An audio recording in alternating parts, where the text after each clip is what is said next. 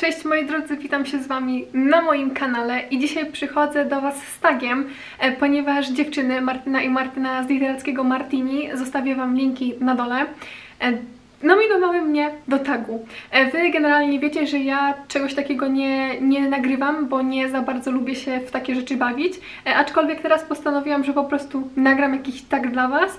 I co? Zaczynamy, to jest New Year's Book Tag, coś takiego. E, dosyć późno, ponieważ no, pod koniec pierwszego kwartału roku to nagrywam. Miałam w ogóle inny film na teraz, kiedy wy to oglądacie w planach, e, aczkolwiek wyszło tak, a nie inaczej i trafi ten BookTag na kanał, także ja Was zapraszam do oglądania i lecimy. Pozwolicie, że ja będę sobie czytać z kartki, ponieważ nie znam tych podpunktów na pamięć. E, I pierwsze pytanie to jest, ile książek chciałabyś przeczytać w 2021 roku? Ja generalnie na Goodreads mam ustawioną liczbę 50 książek, e, aczkolwiek myślę, że takie 50-70 to będzie mój maks w roku E, i mam nadzieję, że uda mi się tę liczbę spełnić, ponieważ to jest mój taki mały cel e, na właśnie ten rok. I co? Zobaczymy, już mam 5% za sobą. Nie jest to dużo, aczkolwiek ciągle to jakby motywuje do czytania coraz większej liczby książek. Następne pytanie brzmi: 5 książek, które chciałaś przeczytać w 2020 roku, e, ale coś nie wyszło. I ja mam tutaj dużo, dosyć pozycji, natomiast wybrałam sobie 5 tytułów, tak jak jest w podpunkcie, e, które naprawdę bardzo mocno chciałam przeczytać i to były moje gdzieś tam cele w tym zeszłym roku. Jednak mi się nie udało. E, I pierwsza to jest Żniwiarz. Pozdrawiam Adriana, który mnie męczy, abym skończyła w końcu tę serię. E, Jest to czwarta część. Generalnie mi się trzecia bardzo podobała i chcę przeczytać dalsze części. Jednak coś czuję, że to jeszcze nie ten moment, aby skończyć. Ja w seriach najbardziej właśnie lubię to, że mogę sobie e, z 2-3 miesiące odpocząć, po czym sięgnę po kolejny tom. I tak właśnie w tym przypadku, czy ze Żniwiarzem, czy też na przykład z Dorą Wilk. Miałam to samo. Po prostu lubię sobie dać trochę czasu i dopiero później sięgam po kolejne części. Kolejny tytuł to Była sobie rzeka. E, Jest to zeszłoroczna, bardzo głośna premiera. Widzę, że się zmienia światło, przepraszam Was bardzo, ale jeszcze tego nie opanowałam, że, żeby się po prostu to światło nie zmieniało, tym bardziej, że one są jednak mm, tutaj złocenia na tej okładce i tak będzie się odbijać. Ja te pozycje generalnie zaczęłam, jednak skończyłam na stronie 70 e, i to nie wynikało z tego, że to tak jakby ta historia mi się nie podobała, e, co to, to nie, po prostu odstawiłam ją, bo były inne jakieś pozycje w międzyczasie. No i doszło do tego, że nie, nie skończyłam.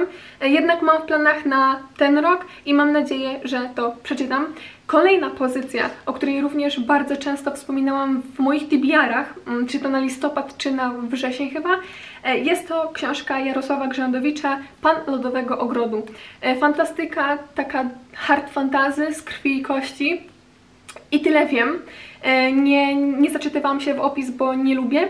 I pomyślałam, że po prostu tutaj będzie akurat taka fajna przygoda, jeżeli ja podejdę bez żadnej wiedzy do tej pozycji.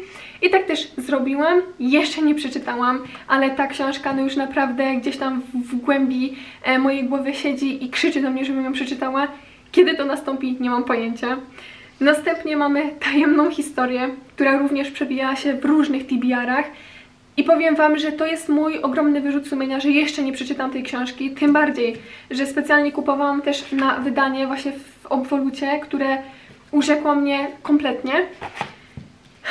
Trochę wstyd, naprawdę, ponieważ ja bardzo chciałam poznać e, panią Donetart i coś mi jeszcze nie wyszło.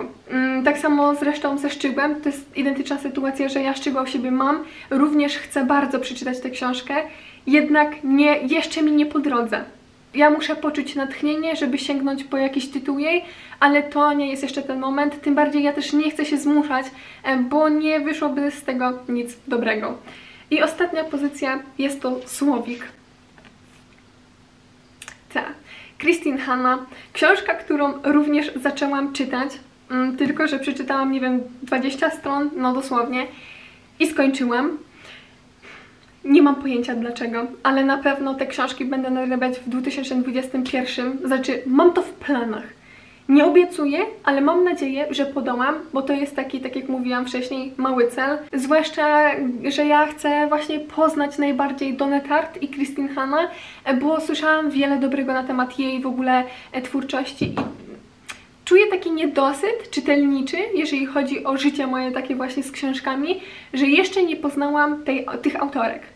Tyle. Następne pytanie, jaki gatunek e, chcesz czytać częściej w 2021 roku? I to jest definitywnie klasyka oraz literatura piękna. E, dwa gatunki, bo coś mnie po prostu ciągnie do nich. Mało tego, ja swoją przygodę właśnie w minionym roku zaczęłam z klasykami, bardzo mi się spodobało, dlatego chcę ciągnąć tę przygodę. A z literatury pięknej mam już kilka książek w TBR-ze, mm, takim rocznym, który również wejdzie na kanał. Już mogę Wam zrobić małą zapowiedź. I tam bardzo dużo, tak jak mówię, pojawi się książek z literatury pięknej i z klasyki. Następne pytanie e, to są trzy nieksiążkowe postanowienia na ten rok. Ja jestem osobą, która stara się nie planować, ponieważ gdy coś mi nie wyjdzie, to później czuję mm, takie wewnętrzne niespełnienie siebie. E, mam nadzieję, że tak to mogę określić. Dlatego no, wolę nie, planowa nie planować. E, jednakże moje cele takie, które wiem, że dojdą do skutku, tylko potrzebuję trochę motywacji, e, to przede wszystkim powrót na siłownię. Mało tego, wdrążenie również regularnej gry w kosza to jest też taki drugi cel. I trzeci to oczywiście wakacje, przeżycie wakacji takich, mm, które zapamiętam do końca mojego życia, ponieważ w tym roku na te wakacje mam osiemnastkę, dlatego chciałabym po prostu, aby e, te wakacje czymś się wyróżniały i to są takie moje trzy cele na ten rok. Kolejny podpunkt to książka, którą e, masz od dawna, ale jeszcze jej nie przeczytałaś. Trochę wstyd, ok? Ale no, to jest Pustynia i Morze, mm, które opowiada historię człowieka, który został porwany przez piraci somalijskich. Tyle wiem o tej historii e, i to jest taka, w sumie można by powiedzieć, że biografia, bo ten człowiek, e, który został porwany, to właśnie on jest autorem tej książki, e, więc on opisuje tam swoje wszystkie przeżycia. Bardzo mnie interesowała ta książka wtedy, kiedy ją kupiłam, a to było po premierze, dosłownie kilka dni w 2019 roku. Więc ta książka generalnie ma niecałe 3 lata już. Ja chcę to przeczytać, ponieważ ciągnie mnie bardzo do, tego, do tej pozycji. Jednak nie mam pojęcia, kiedy po nią sięgnę. Być może ten rok okaże się tym rokiem, w którym zagłębię się w tę literaturę. Mam nadzieję. Aczkolwiek, tak jak mówię, no wszystko wyjdzie w praniu, zobaczymy. I ostatnie pytanie to, jakim jednym słowem chciałabyś określić rok 2021? I powiem Wam szczerze, że tego roku po prostu nie da się określić jednym słowem, bo chciałabym, aby on był spokojny, mm, aby wszystko, wszystkie cele po prostu się spełniły, aby był produktywny, e, więc, ale wydaje mi się, że chyba najbardziej takim słowem, którym chciałabym go nazwać, to spokój. E, przede wszystkim taki mentalny, mm, no i aby ta sytuacja się w końcu uspokoiła, bo wydaje mi się, że naprawdę każdą jednostkę dotknął, dotknęło to, co się stało i fajnie by było, aby każdy doznał w końcu takiego mentalnego spokoju. I to by było na tyle. Mam nadzieję, że Wam się odcinek podobał. Ja dziękuję bardzo za nominację i nominuję wszystkich, którzy chcą nagrać ten BookTag. I co? My się widzimy w kolejnym odcinku. Do zobaczenia. Cześć!